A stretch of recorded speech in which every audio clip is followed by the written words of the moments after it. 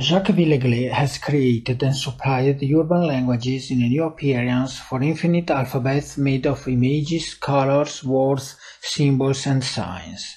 Villeglé was also known for belonging to the Nouveau Realisme movement theorized by Pierre Restany with artists such as Hains Arman Dufrêne, Klein, César Poiret, Tinguely and Rotella.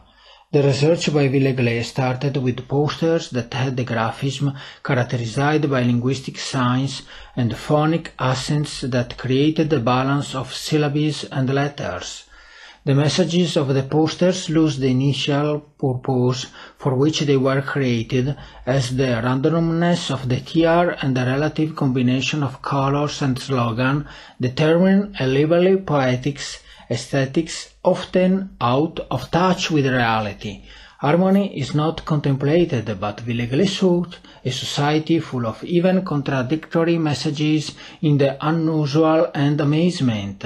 From the new century, the maestro abandoned the tiers to move to a personal alphabet consisting of social political signs which make up a variation of lapidary phrases, encrypted stories, sometimes difficult to decipher, and pseudo-anarchist slogan, an infinite declination of signs in a graphic revision of his work with gesture which connect the tone of the posters with the very execution of this alphabet.